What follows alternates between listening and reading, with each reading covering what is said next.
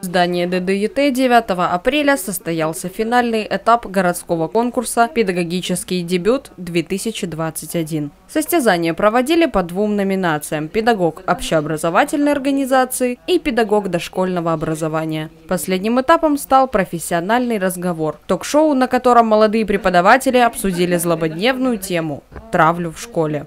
Остался одно финальное э, мероприятие, это сегодняшнее ток-шоу «Профессиональный разговор», которое будет посвящено именно буллингу в образовательном пространстве школы.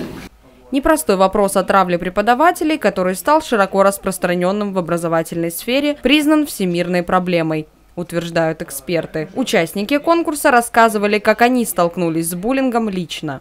Педагоги, исходя из своего опыта, предлагали пути решения. Финальное испытание дало возможность преподавателям проявить свою позицию в этом вопросе. Результаты конкурса огласят 20 апреля на церемонии награждения участников, которая состоится в 16.00 также во Дворце детского юношеского творчества.